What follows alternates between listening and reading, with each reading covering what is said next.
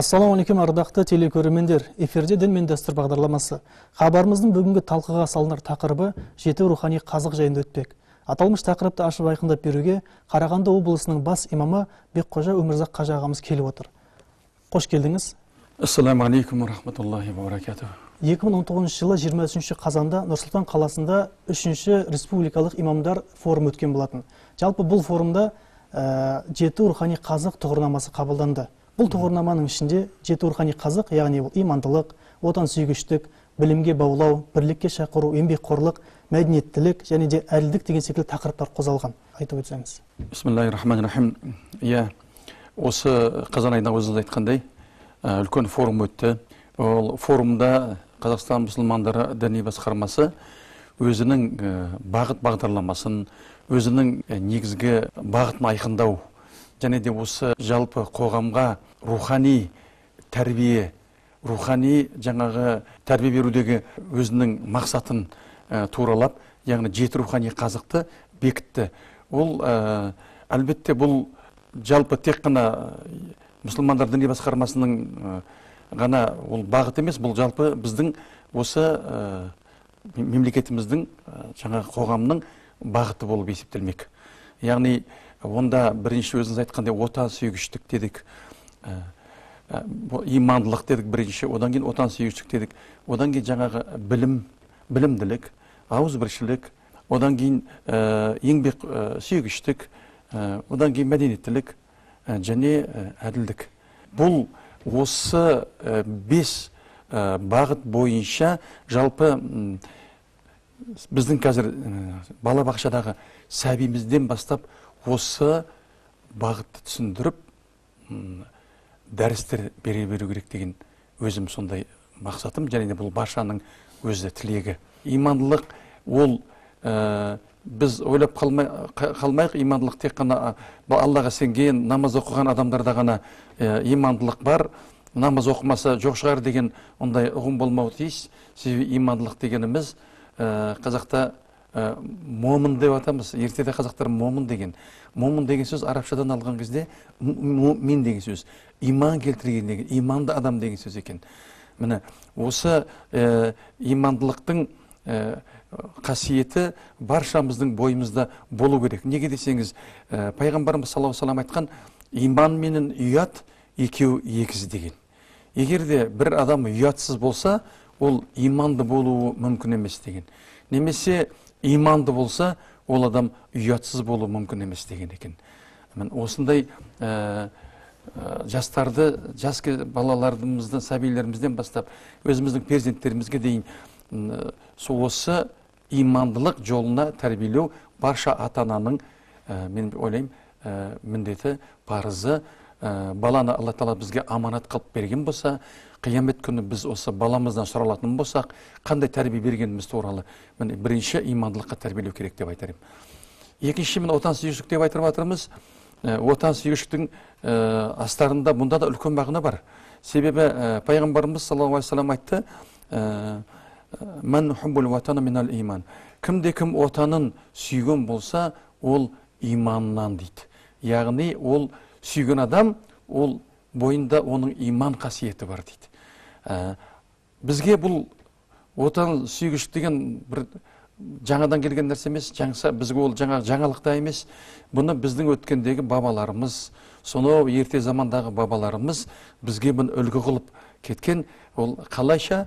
Біздің осы кең байтақ қазақтың кең байтақ жері осының бәрі кезінде бабаларымыздың өзінің жерін елін отанын сүйгендіктен найзаның ұшыменен қылыштың жүзіменен қасық қаныменен ат үстінде отырып қорғап қалып бізге аманат қылған.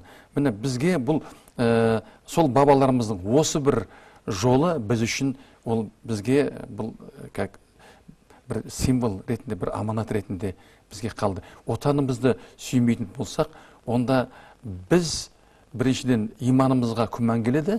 Екіншіден отанымызды сүймейтін болсақ онда мемлекетімізді сақтап отыру қорғап отыру әлбетте ол қиынға түседі. Білім алуды ол құранменен де ең бірінші құранның аяты қандай екенін білесіз? Түскен аят пайғамбарымыз саллаллаху алейхи вассаламға ә, иқра деп түсті. Иқра яғни оқы. Ә, яғни ол ә, оқы дегенде бұл жерде үлкен мағына болып тұр. Ол білім ізде пайғамбарымыз саллаллаху алейhi вассалам өзінің хадисінде де бірнеше хадисінде айтқан. Бір хадисінде білімді талап қылу дейді ол ағаш бесіктен ә, жер бесікке дейін жалғасу керек талап қылу керек дейді. Яғни ә, қай жасқа келсеңіз де қай заманда болсаңыз да білім алу әлбетте ол біздің ә, үлкен ә, адамгершілік жаңағы ә, қасиеттерімізді бойымызға сіңіру үшін бірінші білім керек. Ә, білім бар жерде ақыл бар. Ақыл бар жерде иншалла барлық ә, осы имандылықтың барлық тараптары иншалла орындалады. Қазіргі таңда жалпы біздің қоғамымызда көріп жатырмыз имандылық деген отансүйгіштік білімге баулау деген процесстер өте жақсы жүріп жатыр. Бірақ та біздің қазіргі таңда көп мән беретін тақырыбымыздың бірі бұл бірлік мәселесі. Бірлік деген ә, бұл ұғымға біз өте бір ә, мұқият қарауымыз керек. Ә, құранның бұйрығы бар. Құранда алла тағала құран кәрімде аят айтады.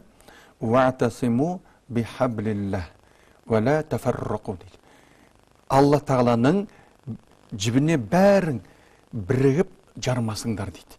Және де одан соң бөлінбеңдер дейді. Бұл жерде жібіне жармасыңдар деген сөз бұл бұл мажаз дейді абстрактілі тілде айтылып тұр. Яғни бәріміз сол алланың бір хақ алланың осы әділ алла тағаланың осы жарық жолында алланың тура жолында бәр, барлығың бірге болыңдар деген осы ә, бұйыру бар. Пайғамбарымыз саллаллаху алейhi осы бірлікке өте қатты мән берген. Себебі ә, осы бірлікті сақтап қалу ол әлбетте ол өзіміздің болашағымызға үлкен жол ашу. Өсіп келе жатқан немерелерімізге өзіміз шөбі балаларымызға немелерімізге болашағын туралап дұрыстап беру. Қазірден бастап біз егер де бөлінетін болсақ қазірден бастап бір бірімізге жаңағы қарсы оппонент деп айтамыз ғой қарсы болатын болсақ оның түбі қайткенде де ол бір жақсы емес әрекеттерге жеткетіні мәлім. Бізде қазір бірлік ті пайғамбарымыз бауырмалдықпенен жаңағы тең, тең қылған. Яғни бір бірімізге бауыр болу барлық мүміндер аллаға сенушілер барлық мұсылмандар бір біріне бауыр деп айтқан екен. Бұл жерде біз тек қана мұсылмандарды бөліп алып қарамаймыз. Біз мемлекетімізде қанша ә, ұлт өкілдері тұратын болса мемлекетімізде қанша этнос немесе басқа дін өкілдері тұратын болса біз оларға өзіміздің бауырымыз сияқты қарасақ онда иншалла береке сол жерде болады. Береке сол жерде болады. Бұл жерде діни басқарманың біздің қазақстан мұсылман діни басқармасының бірлікті осы жерге келтіріп қойғаны ол үлкен негізгі тақырып болғаннан кейін келтіріп қойып отыр. Болашақта біз жастарымызға осы бірлік туралы насихатты жеткізіп айтатын болсақ жеткізіп түсіндіретін болсақ онда біз басқа ұлттарға басқа жаңа этностарға мәдени өкілдеріне мәдениет өкілдеріне біз тек қана жақсы ықыласпен қараушы едік.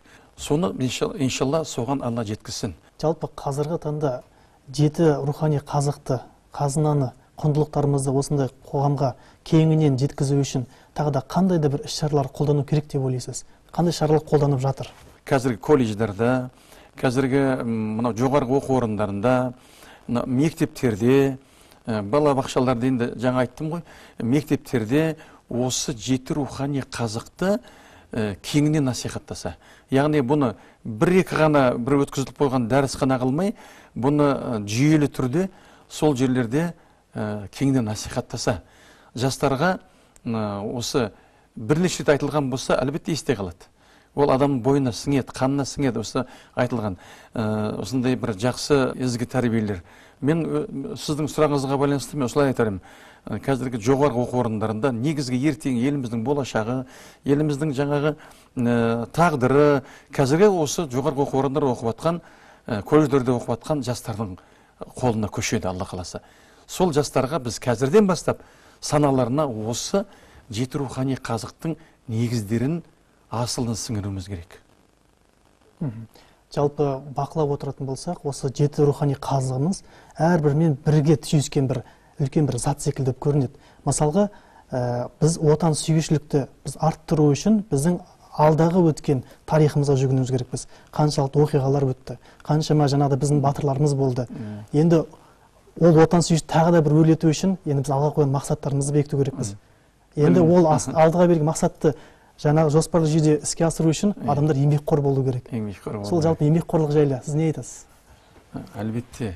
Еңбекқорлық ол адамның бойында негізі табылу керек. Табылу керек болған бір адамның бойындағы өз бір қасиеті болу керек еңбекқорлық деген. Себебі еңбек етсең ерінбей тойды қарын тіленбей деп қазақтар солай жеткізген ғой бізге мақалдатып жеткізген. Солай емес пе?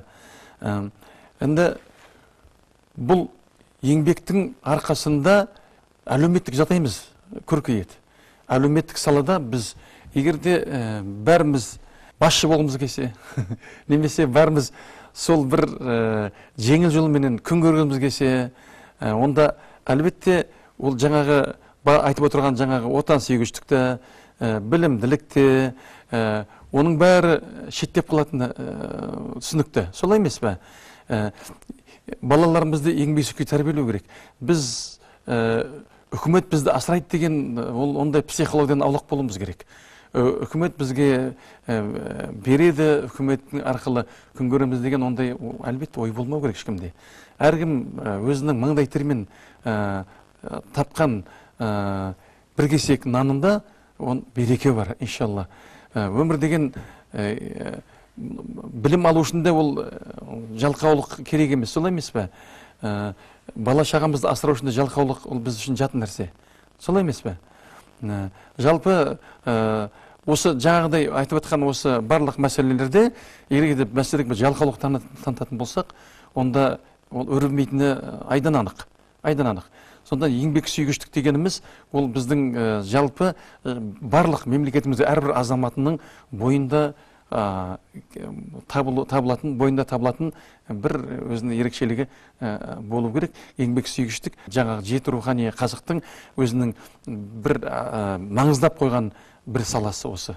Қазіргі таңда қазақстан мұсылмандар діни басқармасына да 30 жыл толып отыр екен. Осы 30 жыл алдынан қалып қарайтын болсақ біздің мемлекетімізде бір отыздан астам ғана мешіт болған екен. Қазіргі таңда қарасақ біздің мемлекетімізде үш мыңнан астам мешіт бар. Қаншамасында имамдар қызмет жасап жатыр. Қаншама мешіт жұма намазына толып жатыр. Жалпы өте жақсы бір нәтиже көріп жатырмыз. Енді кейінгі жылдары қандай жоспарлар бар? Қазақстан мұсылмандар діни басқармасының төрағасы бас мүфти сайланды. Ол өзімізден облысымызда бұрын өзімізде облыстың бас имамы болған наурызбай қажет тағанұлы ол кісі тәжірибесі мол адам. Бұл қазіргі бүгіннің күннің талабы бойынша бұл имамдардың да жаңағы қызметтеріне жаңа үлкен қосымша міндеттемелер қосылып жатыр. Оны кең ауқымды жұмыстар жүргізілетін болады алла қаласа. Осы 30 отыз жылдыққа байланысты қазақстан мұсылман басқармасының көптеген жоспарлар құрылып жатыр. Оның ішінде мысалы былай 30 жылдың құрметі үшін 30 көпір жамағаттың қатысуымен мешіттердің қатысуымен 30 көпір тұрғызылу керек деп. Немесе жаңағы 30 мешітке осы мемлекетіміздегі 30 мешітке үлкен ірі мешіттерге осы тарихымызда болған қазақтың тарихына мәдениетіне үлкен зор үлес қосқан діни қоғам қайраткерлерінің аттары берілу керек деген сондай жоспар жолға қойылды. Мысалы біз қазір айтып, айта беруге болатын шығар мынау күнгейде ашылған жақында ашылған үлкен әсем мешіттің жаңағы әсем мешітке қазыбек би бабамыздың атын қоюды жоспарлап отырмыз алла қаласа. Және де осы отыз діни басқармаға қарасты нұр мубарак университетіне отыз стипендия тағайындау. Сол сияқты көптеген жаңағы абай бабамыздың жалпы қазақтың жаңағы ұлы тұлғаларына құрмет көрсетіп 175 жылына байланысты бүкіл республика бойынша үлкен конференциялар үлкен сондай кездесулер өткізуді қолға алып жоспарға қойып отыр. Алла қаласа осының бәрі иншалла орындалады. Біз міне осы, осы уақытқа дейін осы үш айдың ішінде ә, екі қаланың өзінде екі мәрте абай бабамызға арналған үлкен шаралар өткіздік. Ә, енді алла қаласа тағы да осы теледидарда кездескенде нәтижелерін тағы да түсіндіріп айтатын шығармыз. Наурыз айы бізде мерекеге толы ай біздің өзіміз дініміз негізінен ә, көптеген жақсы ізгі біздің дәстүріміз ізгі мерекелерді бір қолпаштап адамдардың жиналып сол жерде бір жақсы бір көңіл күй көтеріп жүруіне бір себепкер болатын күн. Иншалла енді ә, айта кететін болсақ наурыз мерекесі ол ә, дәстүріміздің діні. Ә, дәстүріміздің мерекесі. Ә, діни мерекеге өзіңіз білесін шығарсыз. Ә, айттар кіреді құрбан айты ә, жаңағы ораза айты кіреді. Ә, бас, сондай бір діни мерекелер өз ерекшелікті ерекшеленген діни мерекелер бар. Алайда ә, біздің дініміз ә, халықтың дәстүрлі мерекесіне ешқашанда қарсы келмейді. Егер де ол ә, құранға немесе сүннаға ә, шариғаттың қағидаларына тікелей қарсы болмаса ал ә, наурыз мерекесі біздің бабаларымыз ертеден тойлап келе жатқан ол біздің халқымыздың бір ә, көктемнің шығып жаңағы жердің көктеуі жаңағы ә, жердің гүлденуі сияқты өмір өмірдің бір жақсы бастамасы сияқты ә, мерекелеп келген. Қазақстан мұсылман басқармасы бұл мерекеге байланысты ә, оң көзқараспенен ә, құптайды. Бұл жеті мың жыл бұрын біздің ә, біздің дәуіріміз жеті мың жыл бұрын басталған ә, бұл мереке ғой. Дінімізге енді екі бір жарым ғасыр болды. Біздің ислам дініміздің бір жарым ғасыр болды. Алайда пайғамбарымыз саллаллаху алейхи вассалам дініміздің кезінде бір етек алып дініміздің географиясы исламның географиясы былай үлке- үлке- үлкейген кезде көптеген ұлттар нәсілдер көптеген жаңа мемлекеттер бұрынғы өзінің жаңағы басқа дінде болған мемлекеттер ислам дініне өтіп ислам дінін қабылдап ақиқат дінді қабылдаған кезде сол, сол, сол, сол заманда пайғамбарымыз саллаллаху вассалам айтты ислам діні ол бір қауымның ә, дәстүріне қарсы емес. Егер де ол жаңа айтқандай құранға сүннаға қарсы болмаса дейді. Біз наурыздан құранға сүннаға қарсы болатын немесе аллаға серік қосатын ешқандай ештемені көріп тұрған жоқпыз. Яғни бұл ә, мереке халқымыздың бір ә, берекелі мерекесі деп біз есептейміз. Иә себебі бұл күндері біздің көріміз бойынша мына орталық мешітіміздің алаңында немесе бірінші мешіттің алаңында көптеген жастарымыз жиналып сондай бір дәстүрлі ойын өнегелерді көрсетіп тіпті мына жеті қазан өзін алып келетін болсақ сол жеті қазан өзіне біріктіргендей жаңағыдай отансүйгіштік мәселелері немесе біздің мәдениетімізді көрсетіп жатқан бір жайттары бар. Иә ә, иншалла ә, ол ә, біздің жаңа жылымыз және де білесіз өзіңіз ә, жаңағы наурыз мерекесі жаңа жыл мына біздің өзіміздің ә, халқымызда түркі халқының әсіресе жаңа жыл болып есептелінген кезінде енді мереке алдын ала құттықтай беруге болатын шығар. Мереке енді құтты жақсы өтсін халқымызға алла тағала ә, береке берсін еліміздің іргесі бүтін болсын халқымыздың арасында бауырмалдық ынтымақ ә, ә, мықты болсын арамызға ешқандай дұшпан алауыздық ешқандай іріткі салуға ешқандай дұшпан ә, ге жол бермейтіндей алла тағала бізге парасат берсін. Алла тағала осы ә, жеті рухани қазықпенен дамитын болсақ осы қазықпен біз өркендейтін болсақ иншалла біздің еліміздің халқымыздың ұлтымыздың болашағы жарқын болады деген сондай үлкен үмітіміз бар. Өмірзақ аға қойылған сұрақтарға өзіңіздің тұшымды әрі терең ойларыңызбен бөліскенге сізге мың да бір алғыс. Эфирде болған дін мен дәстүр бағдарламасы жүздескенше сау сәлеметте болыңыздар.